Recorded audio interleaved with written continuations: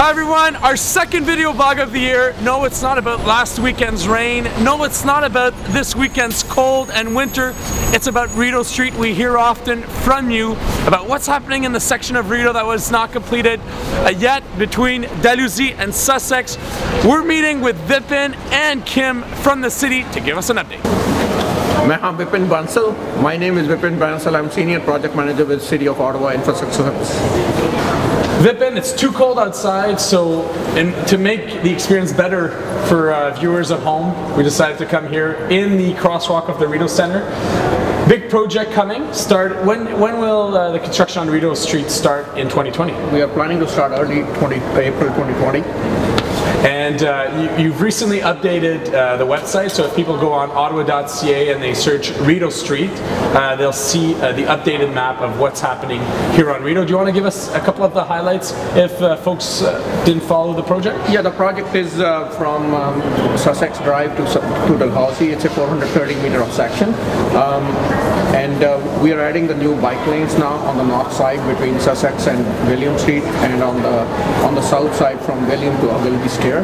That's the new change in the design recently we implemented. A great connection on the north side, a multi-use pathway that will connect from Rideau LRT all the way through eventually O'Connor, but in this stretch we're making our way to Sussex. Yes.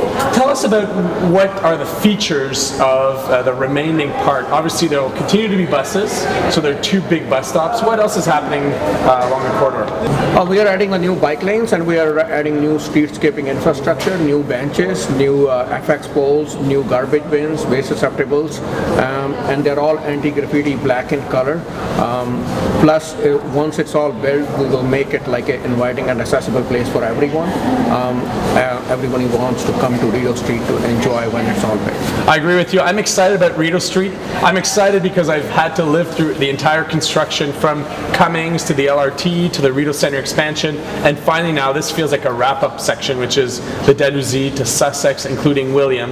I'm excited about elements that you've described. I think the trees are going to be a, a huge asset. I think the standardization of the street furniture as well.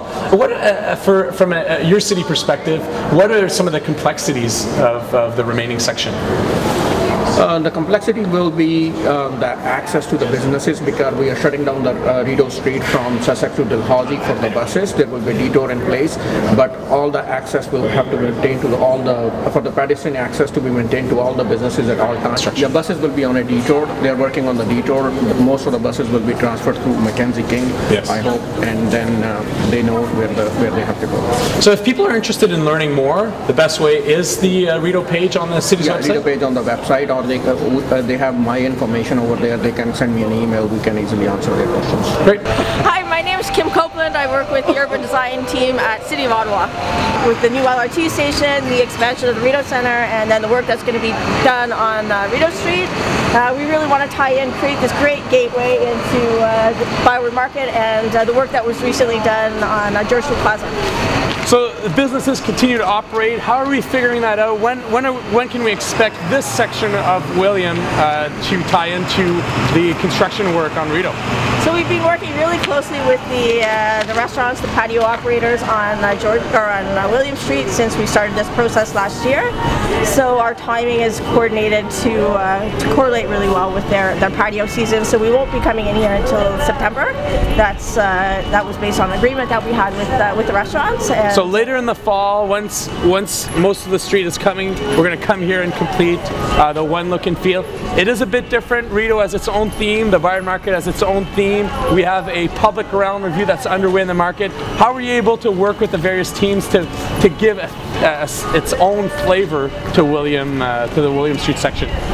What we've been trying to do is respect the uh, the materials and look and feel of Rideau Street and also look at what was done on George Street Plaza but then create really that gateway feel, something really unique, something customized, something really fun for, for this special space.